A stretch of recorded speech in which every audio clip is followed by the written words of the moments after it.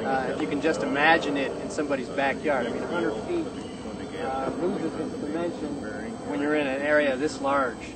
But if you're talking about our local communities and the fact that they're clear cutting uh, to this extent and beyond this extent in our local communities, you'd see that there needs to be some sensitivity uh, to our local constituencies, our local communities, and to our local property owners, which isn't taking place.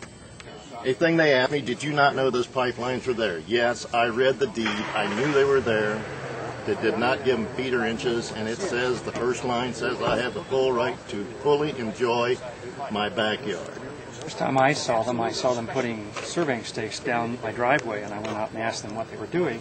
They said they were widening the easement.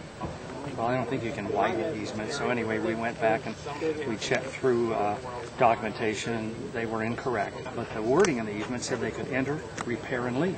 That's all it said. Didn't say cut trees or anything. So we went to court to try to keep this from happening, and we lost the case regrettably. Uh, and the very next day, they came in and began cutting. They ca- They came in on a Thursday and marked trees. They came in on a Monday and cut them off.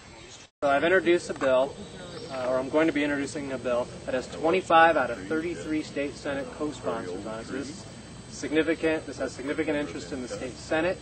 Will force these uh, natural gas transmission pipe owners to deal with our local communities and our local property owners on a reasonable basis. If they have not maintained their right-of-ways in the past 21 years, they can only clear cut within safety parameters set by the federal government or by the Public Utilities Commission of Ohio.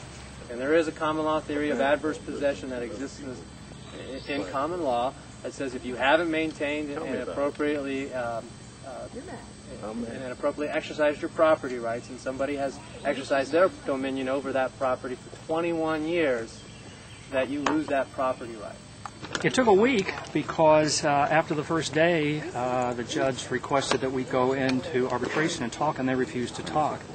Uh, so the second day, well, you must talk. They refused to talk. They would not negotiate, would not talk. I said, what can we do here? You know, can we talk about the footage, uh, anything? I would not talk about it.